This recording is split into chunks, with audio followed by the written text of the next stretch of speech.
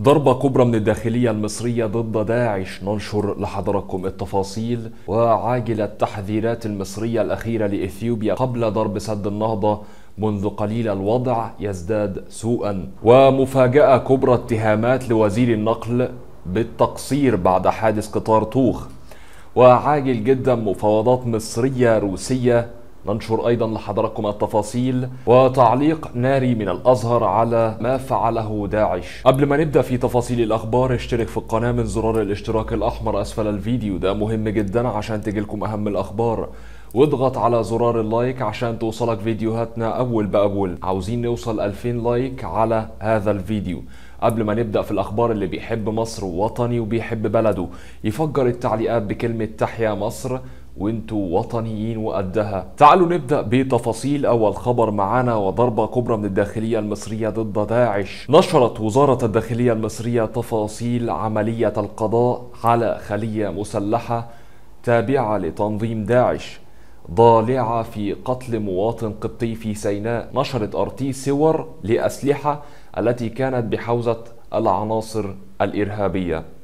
وذكر مصدر أمني أن قوات الأمن رصدت مكان تواجد المجموعة المتورطة في حادث مقتل المواطن القبطي نبيل حبشي بمنطقة الأبطال بشمال سيناء مشيرا إلى أنهم خططوا لتنفيذ عدد من العمليات ضد قوات المسلحة والشرطة. وقال المصدر وأنه يعني بناء على معلومات تم رصد ثلاث عناصر من تلك الخلية شديدة الخطورة. بذات المنطقة كانوا راكبين عربية ماركة نيسان ربع نقل بيضاء اللون حيث أمكن إحكام الحصار عليهم بتلك المنطقة بمعرفة قوات وبمجرد استشعارهم ذلك قاموا بإطلاق النيران بكثافة تجاه قوات والتعامل معهم. ما أدى إلى مقتلهم وانفجار حزام ناسف كان يرتديه أحدهم. وعثر بحوزتهم على ثلاثة سلاح آلي وواحد حزام ناسف وواحد قنبلة يدوية وكمية من الطلقات الآلية. وقال المصدر إن بين المستهدفين قيادي في داعش يدعى محمد زيادة سالم زيادة واسمه الحركي عمار. واصفا إياه بأخطر العناصر الإرهابية في محافظة شمال سيناء والثاني هو قيادي في داعش ويدعى يوسف إبراهيم سليم القرم واسمه الحركي أبو محمد.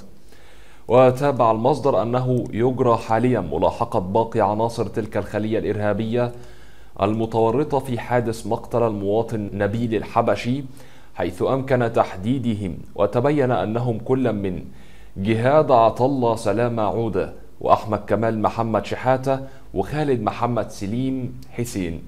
المصدر معانا كان من RT ووزارة الداخلية.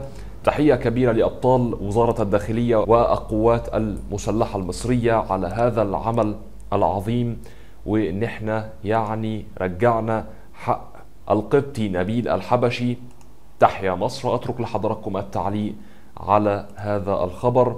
لو حضرتك جيت للجزء ده من الفيديو يا ريت ما تنساش تدعمنا بال like والاشتراك في القناة. ويلا ندخل على الخبر التالي.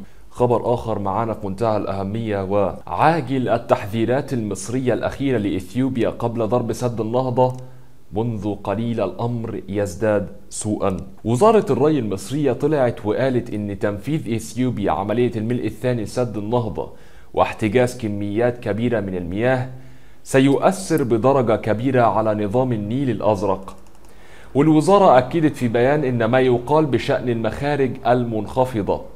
وعددها اتنين فتحة قادرة على إمرار متوسط تصرفات النيل الأزرق وادعاء غير صحيح حيث أن القدرة الحالية للتصريف لا تتعدى 50 مليون متر مكعب يوميا لكلا الفتحتين وهي كمية لا تفي باحتياجات دولتي المصب ولا تكفي متوسط تصرفات النيل الأزرق. واعتبرت أن تنفيذ عملية الملء الثاني هذا العام واحتجاز كميات كبيرة من المياه طبقا لما أعلنه الجانب الإثيوبي سيؤثر بدرجة كبيرة على نظام النهر لأن المتحكم الوحيد أثناء عملية الملء في كميات المياه المنصرفة من السد. ستكون هذه المخارج المنخفضة وسيكون الوضع أكثر تعقيدا بدءا من موسم الفيضان أي شهر يوليو القادم لأن الفتحات ستقوم بإطلاق تصرف أقل من المعتاد استقباله في شهر يوليو أغسطس ووزارة الري المصرية ذكرت أنه كان من المفترض قيام الجانب الإثيوبي أثناء عملية الملء الأول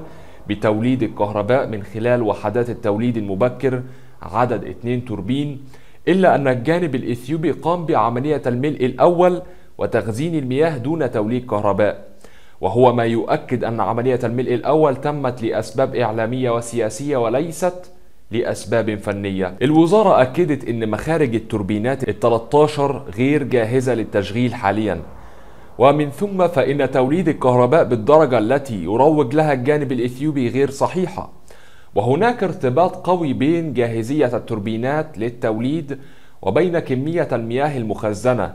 معتبرة أن الجانب الإثيوبي يسابق الزمن لفرض أمر واقع على دولتي المصب من خلال ملء بحيرة السد للعام الثاني على الرغم من عدم جاهزية السد للتوليد الكهربائي المخطط له. وشددت على أن مصر أبدت مرونة كبيرة خلال المفاوضات على مدى السنوات العشر الماضية بهدف الوصول لاتفاق قانوني عادل وملزم فيما يخص ملء وتشغيل سد النهضة. كما أكدت أن شروع الجانب الإثيوبي في بدء عملية الملء الثاني للسد هو استمرار للنهج المتبع بفرض سياسة الأمر الواقع باتخاذ إجراءات أحادية من شأنها إحداث ضرر بدولتي المصب وذلك لغياب آلية تنسيق واضحة بين الدول الثلاثة في إطار اتفاق قانوني عادل وملزم. يعني فيما معناه تلخيص هذا الكلام وتلخيص هذا البيان أن إثيوبيا فتحت اتنين من فتحات سد النهضة والفتحتين دول بيخرجوا مياه بس 50 مليون متر مكعب في المياه يوميا. وهذه الكمية لا تكفي مصر والسودان إطلاقا. كمية قليلة وستسبب عطش في مصر والسودان وهذا الأمر لن تسمح به مصر. أترك لحضراتكم التعليق على هذا الخبر. خبر آخر معانا. ومفاجأة كبرى اتهامات لوزير النقل بالتقصير بعد حادث قطار طوخ. تلقى مجلس النواب المصري بيانا عاجلا حول حادث القطار الذي وقع يوم الأحد الماضي في مدينة طوخ بمحافظة القليوبية شمال القاهرة وتسبب في وفاة وإصابة العشرات. وبحسب صحيفة المصري اليوم فقد تقدم النائب فريد البياضي عضو مجلس النواب ببيان عاجل قدمه للمجلس حول الحادث. واتهم النائب المصري في بيانه وزير النقل الفريق كامل الوزير المقرب من الرئيس السيسي بالتقصير وحمل المسؤولية السياسية للوزير. وطالب البياضي بتشكيل لجنة من البرلمان والخبراء لتقصي الحقائق وتحديد ما تم إنفاقه على تطوير منظومة السكة الحديد والخطة الزمنية للانتهاء من التطوير وأعلنت هيئة السكك الحديدية المصرية في بيان أن القطار كان في طريقه من القاهرة إلى مدينة المنصورة بالدلتا وخرج عن مساره وذلك بعد نحو 40 كيلومترا شمال القاهرة. وقالت وزارة الصحة في بيان أن 11 شخص توفوا وأصيب 98 آخرين في الحادث الذي لا يزال قيد التحقيق. وهذا الحادث هو الأحدث ضمن سلسلة حوادث قطارات في مصر في الفترة الأخيرة. مصدر معانا كامل المصري يوم البقاء لله في المتوفيين بسبب هذا الحادث. ربنا يصبر أهاليهم بإذن الله وربنا يشفي يا رب المصابين ويعني يرفع عنهم البلاء. خبر آخر معانا وتعليق ناري من الأزهر على قتل قبطي على يد داعش. علق الأزهر الشريف في مصر على مقتل مواطن قبطي على أيدي عناصر تنظيم داعش الإرهابي. واعتبرت أن هذا العمل يؤكد تجرد تلك الجماعات الإرهابية من أدنى معاني الإنسانية. قال الدكتور محمد الضويني وكيل الأزهر الشريف خلال مناسبة إحياء ذكرى إنشاء الجامع الأزهر عن تعازيه لأسرة ضحية الغدر والخسة الفقيد نبيل حبشي الذي غدر به على يد المجرمين الإرهابيين من تنظيم داعش في مشهد صعب ويؤكد تجرد تلك الجماعات الإرهابية من أدنى معاني الإنسانية. كما تقدم الضويني بخالص العزاء لأسر ضحايا قطار الطوخ القليوبية متمنيا الشفاء العاجل للمصابين. المصدر معانا كان من RT وهذا كان تعليق الأزهر على تنظيم داعش الإرهابي وما فعله بالقبطي نبيل حبشي. ننتقل لخبر آخر وعاجل جدا مفاوضات روسية مصرية ننشر الآن لحضراتكم التفاصيل. أكد وزير الزراعة واستصلاح الأراضي المصرية السيد القصير على أهمية تعزيز التعاون بين روسيا ومصر في المجال الزراعي وذلك في ظل العلاقات المتينة بين مصر وروسيا.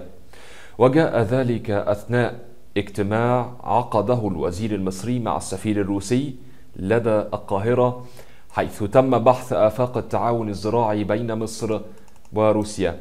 الوزير أشار إلى أهمية التعاون في مجال البحوث الزراعية وتبادل الخبرات والاستزراع السمكي والإنتاج الحيواني فضلا عن تطور صناعة الدواجن خاصة بعد إعلام منظمة صحة الحيوان العالمية بخلو 30 منشأة مصرية من إنفلونزا الطيور.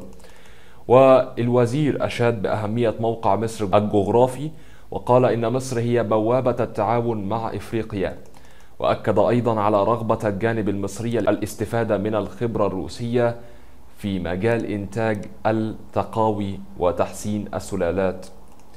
من جانبه أشاد السفير الروسي بحجم التعاون بين مصر وروسيا والعلاقات المتميزة بين القيادة السياسية في مصر وروسيا وأكد أن هناك رغبة حقيقية في زيادة وتعميق التعاون في كل المجالات. كما أشاد بجودة المنتجات الزراعية التي تستوردها روسيا من مصر وأهمها الموالح والبطاطا والثوم حيث تشهد إقبالا كبيرا من المواطنين الروس وتتمتع بسمعة جيدة في الأسواق الروسية.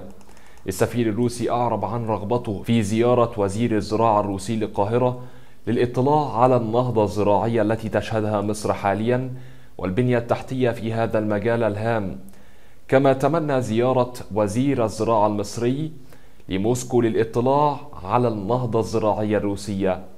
المصدر كان معنا من RT وطبعا يعني العلاقات المصرية الروسية مهمة جدا ونشهد لها أنها علاقات مميزة وقوية جدا. وأترك لحضراتكم التعليق على هذا الخبر. تعالوا نشوف آخر أخبار حادث قطار طوخ والمنطقة التي وقع بها الحادث. عادت حركة القطارات لوضعها الطبيعي في محافظة القليوبية المصرية بعد إصلاح خط السكة الحديد الذي شهد حادث قطار طوخ يوم الأحد الماضي ومر أول قطار على السكة الحديد من مكان الحادث بعد عملية الإصلاح واستبدال القضبان القديمة بأخرى جديدة مع الاستمرار في كافة الإجراءات الخاصة بالأمان والسلامة وفرض طوق أمني بالمنطقة. كما مر قطار قادم من القاهرة على القضبان الجديدة التي تم تركيبها اليوم لتعود الحركة لوضعها الطبيعي بعد إصلاح خط السكة الحديد واستبدال القضبان بأخرى جديدة. المصدر معانا كان من RT. نتمنى إن شاء الله إن ما يحصلش حوادث أخرى بسبب القطارات لأن إحنا تعبنا حقيقي. يعني سلسلة من الحوادث الصعبة للقطارات في مصر ولكن هذا الأمر يجب سريعا محاسبة المسؤولين عن هذه الحوادث ونتمنى الخير للشعب المصري العظيم. وجينا لنهاية نشرة الأخبار. كان معكم إسلام من قناتكم مصر ميديا VIP وصفحتكم على الفيسبوك برضو بنفس الاسم مصر ميديا اي أي بي. إن شاء الله أشوفكم في فيديو جديد وقريب. والسلام عليكم ورحمة الله تعالى وبركاته.